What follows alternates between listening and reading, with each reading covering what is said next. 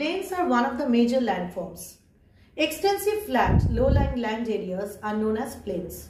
Here in this chart, you can see the definition of plains. Plains are flat, low-lying land areas. For example, the northern plains of India. The word plain has come from the Latin word planum, which means level ground. The Great Plains of Mississippi in North America, the Indo-Gangetic Plains of India, the Hwang Ho Plains of China, the Amazon Basin of South America are examples of large plains. Plains are classified into different types. Follow the chart. Erosional plains, depositional plains, structural plains, abyssal plains. Here I am going to discuss each plain with example.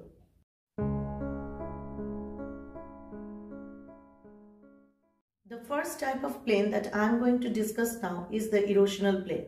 Here in this chart, you can see it's written, erosional plains are formed by agents of degradation. For example, the Niagara Plains in the USA.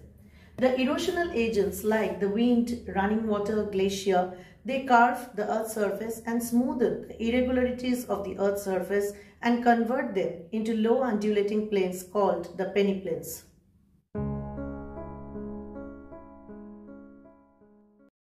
The second type of plain is the depositional plain.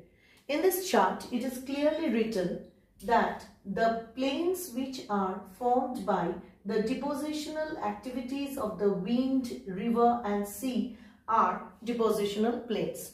For example, the Great Northern Plains of India is formed by the deposition of alluvium by rivers.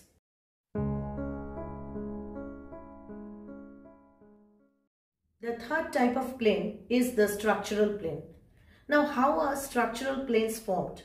See in this chart, it's written structural plains are formed by endogenetic forces. Now what are these endogenetic forces? These endogenetic forces are the forces which are acting inside the earth. Now the example of structural plain is the Great Plains of the USA. Structural plains are the most structurally depressed areas of the earth's surface and they give some of the most extensive natural lowlands on the earth's surface. The fourth type of plain which I am going to discuss now is the abyssal plain. Now let us see what is an abyssal plain. An abyssal plain is an underwater plain on the deep ocean floor for example, the largest abyssal plain is the Sohm Plain in the North Atlantic. Now, an abyssal plain is a large, flat, sediment-covered areas of the deep ocean floor.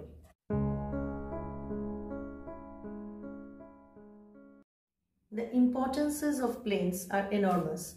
To start with, it can be said that plains are the most productive agricultural regions of the world because plains are covered with thick deposits of alluvium brought down by rivers. So, many crops can be grown in this fertile land. Secondly, plains provide the flat level land. So, building of settlements and industries are possible on the plains. Thirdly, it is easy to establish a dense network of roads and railways on the plains because plains have a flat level land. Fourthly, coastal plains are suitable for fishing, trade and agriculture.